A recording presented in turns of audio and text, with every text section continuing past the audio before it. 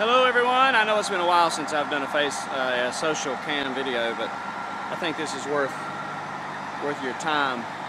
Uh, seems like we've had a lot of earthworms come up on the uh, driveway, and they like go like they're demon possessed when you try to help them. So if you want to see one here, I'm gonna try to try to show you. Watch this. Watch this one. This is pretty wild. Pretty wild.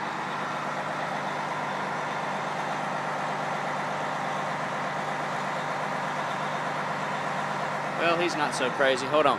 See if I can see another one here. Let's see what this one does.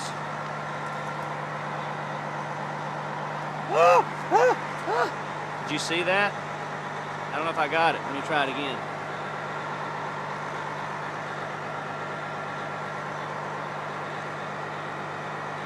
Huh?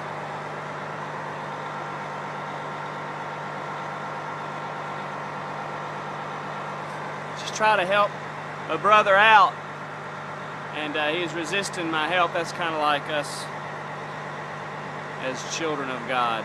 Try, God tries to help us and we just we just squirm like worms. Man, it's like we don't want his help. I'm gonna try to help him one more time. This time, I'm gonna grab him whether he likes it or not and throw him over that fence so he can get back in the grass. He'll appreciate it.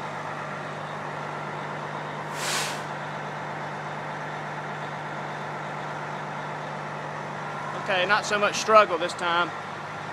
Oh, you see what happens whenever we don't struggle, Brother Worm?